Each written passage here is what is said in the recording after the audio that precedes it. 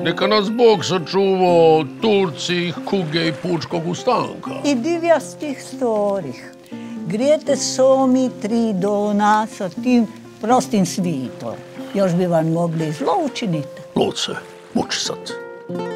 Čo je najlipje? Svit će ga Bog stvori. A najveće? Svekoliki prostor u kojem tavori. A čo će nam Bog uvijek kriti?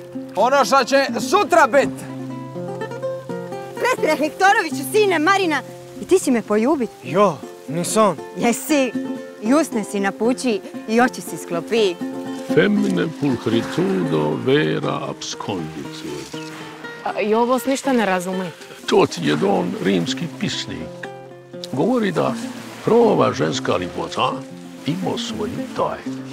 Oni će gleda očima, vidi je ne razumi. Oni će razumi, gleda dušom svojom. Znaš li što je tamo prijeko, na drugoj strani?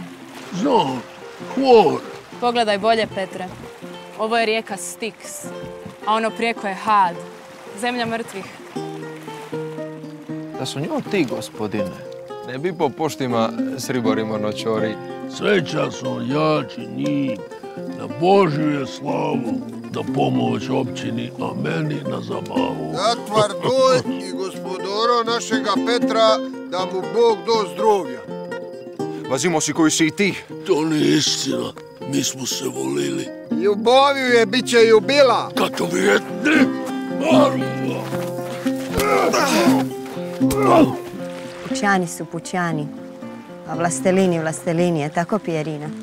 Zajedno za stoliju postaju ako tribo, ali voda i uje nikad se ne mišadu. Kad smart kuco na vrota, svi smo isti.